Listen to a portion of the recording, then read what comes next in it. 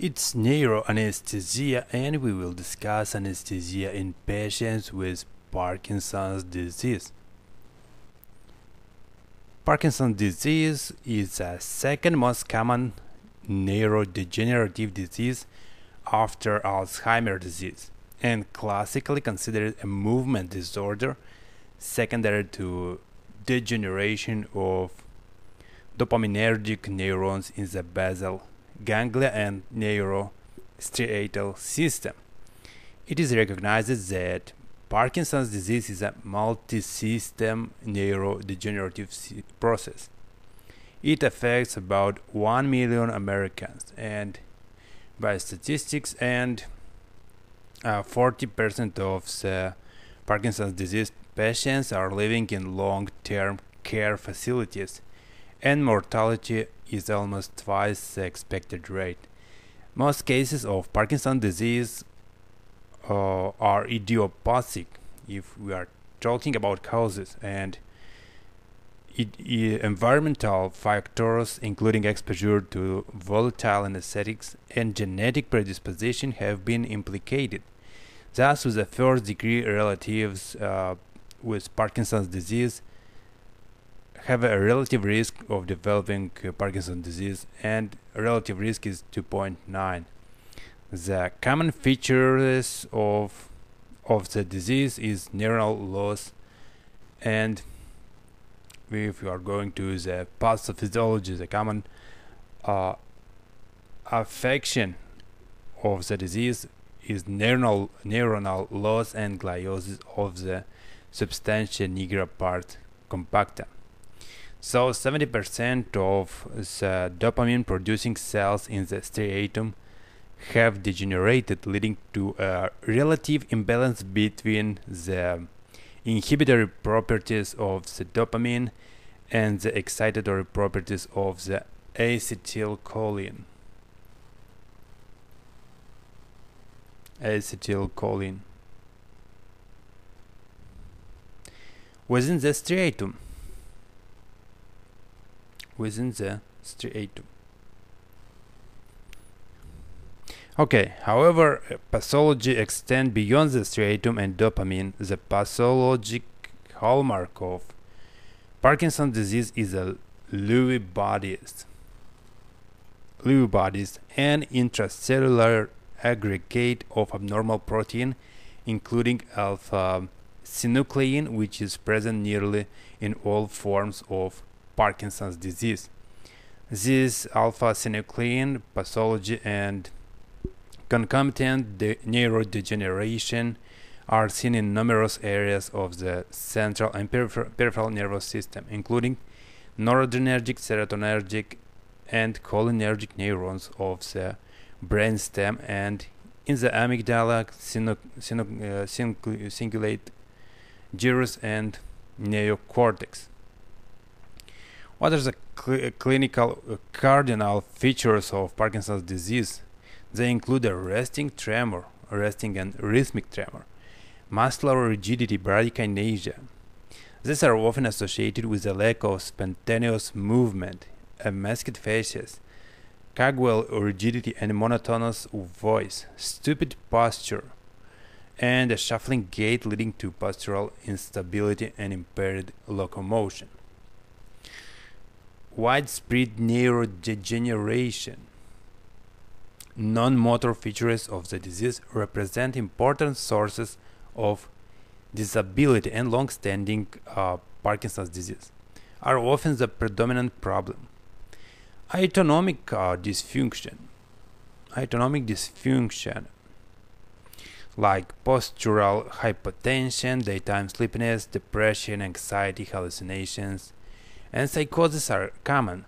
Dementia, of course, in degenerative disorders is almost universal in patients with long-standing uh, Parkinson's disease.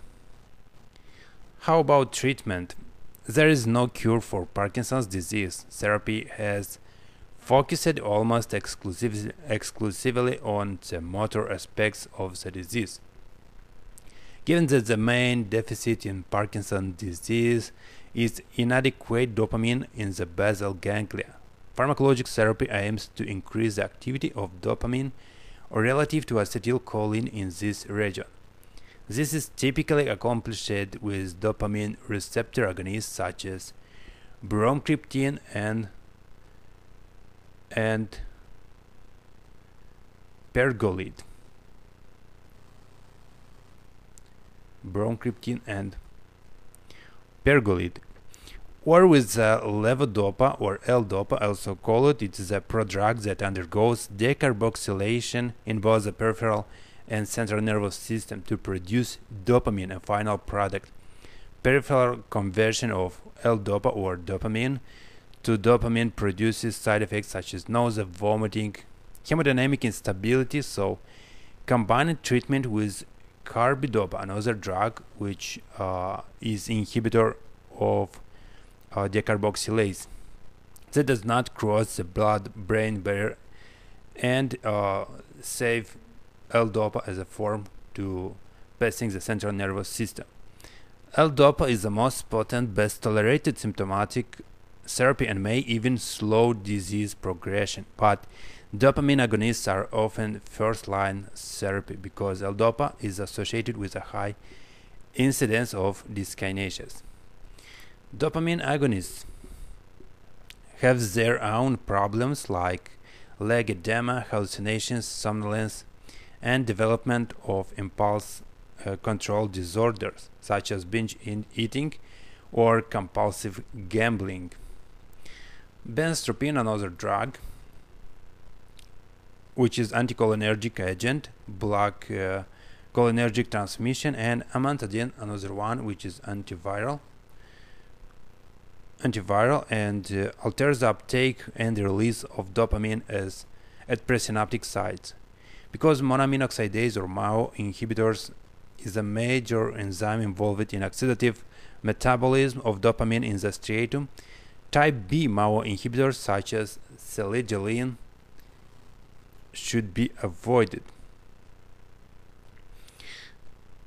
When motor complications become disabling and medical therapy fails, deep brain stimulation, deep brain stimulation becomes uh, re recommended and involves surgical placement of electrodes in the subthalamic nucleus and other brain regions, and stimulate at high frequencies. And last options uh, list of the options represent uh, transplantation of fetal midbrain or stem cells into uh, human Parkinson's disease patients. It is another exciting alternatives, and the cells of uh, the cell function and uh, survive for up to 14 years. And finally we get a point which we are trying to reach. It's uh, anesthesia management perioperative management of the patient. So perioperative management of the patient with Parkinson's disease is challenging and attention should be directed toward maintenance of perioperative drug therapy. Potential adverse drug interactions and the uh, physiologic perturbances associated with the disease. It is also important to recognize that emotional stress. Emotional stress, which is unavoidable and difficult to address in the perioperative period, can also exacerbate Parkinson's disease.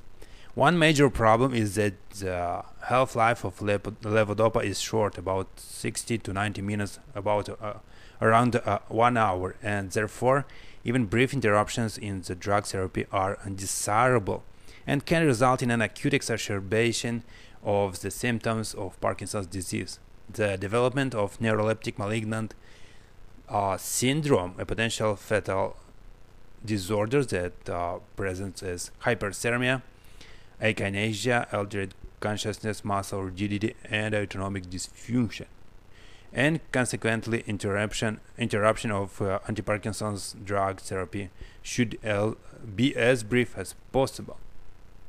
And about a malignant uh, neuroleptic malignant syndrome should be recognized, and the main components uh, could be succinylcholine and volatile anesthetics, which are the main, which can declare this disease.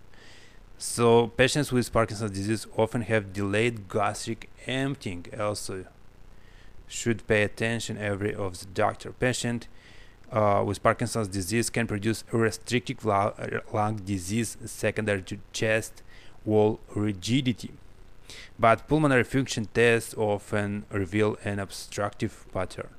Upper airway ob- abnormalities also occur and involuntary movements of the glottis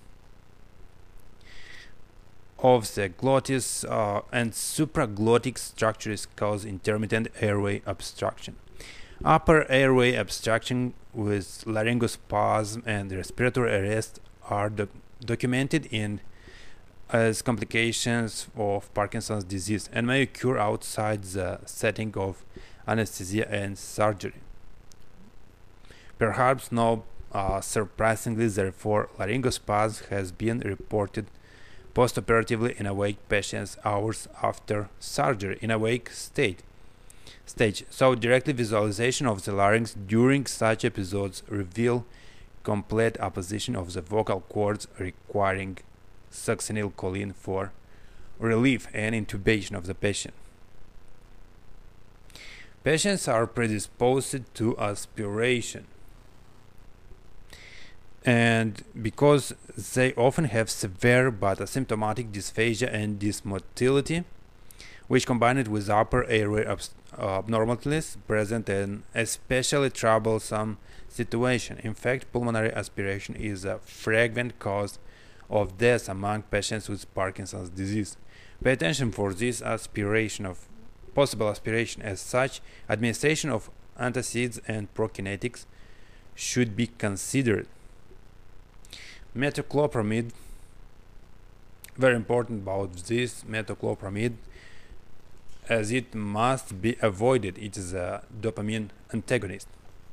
In contrast uh, prokinetic drugs like uh, or domperidone have no effect on central dopaminergic balance and are reasonable alternatives. Nervous system dysfunction is also common autonomic insufficiency affects the ability of Parkinson's patients to respond to the hypovolemia and vasodilation, sometimes associated with anesthesia and surgery. Orthostatic hypotension, thermoregulatory or genitourinary dysfunction suggest, uh, suggests pre-existing autonomic insufficiency and should heighten a- awareness of the potential, potential for perioperative hemodynamic instability and altered response to the vasopressors such as norepinephrine, also known as noradrenaline. You should uh, charge a syringe with noradrenaline for these patients to be protected, and of course, any of the uh, hypovolemic shock could occur. Complications such as anxiety, confusion, and even frank psychosis, such uh, such psychosis occur more frequently in patients with Parkinson's disease than the general population and can be uh, especially problematic in the perioperative period. And now the main part which represent anesthetics and many particularities of these drugs.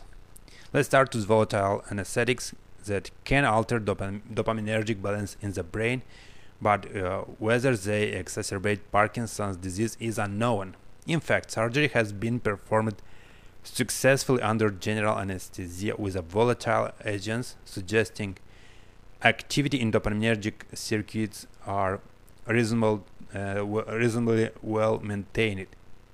Another one is propofol, produces both uh, dyskinesia and ablation of resting tremor. It suggests that it has both excitatory and inhibitory effects of uh, in this uh, patient population, but it also has used it successfully to sedate Parkinson, uh, Parkinson's patients. Dexmedetomidine uh, also appears to be safe and when used for deep brain lead implantation and stimulations has the advantage of not interfering with motor symptoms. Ketamine should be used cautiously, if uh, if if at all, because uh, of potential interaction with levodopa and its sim- uh, its um, sympathomimetic properties. Butyrophenones, like droperidol, antipsychotics, and phenothiazines, which block dopamine dopamine receptors and exacerbate uh, Parkinson's disease, and should be avoid avoid any do, uh, blocking effects of, of the dopamine. Ondansetron, uh, it's a serotonin receptor antagonist, and it is safe for using. It prevent uh, prevent emesis in these patients, and can be used successfully to treat the psychosis of chronic levodopa therapy. And the last one is meperidine, that should be avoided in a patient taking MAO inhibitors like selegiline. However, because of the potential for the development of stupor, rigidity, agitation, and hyperthermia, responses uh, to depol- uh, depolarizing as well as non-depolarizing muscle relaxants are thought to be normal in a patient. Didn't add added in this slide. So once again, it's a neurodegenerative uh, disorder, a second most common. It affects 1 million of Americans. It affects substantia nigra of pars compacta and striatum. Lewy bodies with intracellular aggregation and deposition of abnormal protein. Cardinal signs resting tremor, muscle rigidity, bradykinesia, dysphagia, cogwheel rigidity, and shuffling gait as well as autonomic dysfunction, which is important for uh, anesthesia, as can give you even a hypotensive shock.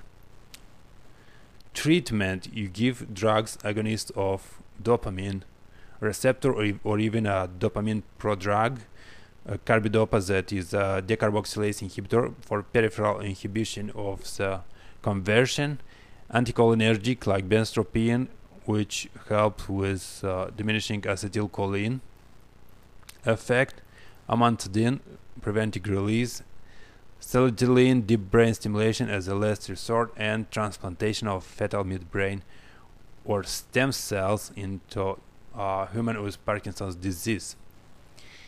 Palliative management uh, give anti-secretory uh, drugs uh, diminish stress for patient and uh, delay gas de- from delayed gastric empty do not give anything per oral to the patient for 12 hours. Be careful with uh, with lungs as there is obstructive pattern of restrictive lung disease. Avoid many drugs that interact with dopamine and you can give uh, prokinetics like cisapride and domperidone. For anesthesia, you can use volatile anesthetics, propofol, and uh, any of the muscle relaxants like depolarizing or non-depolarizing. Thank you very much for your attention. If you like this lecture, you can subscribe and follow this channel. Thank you very much.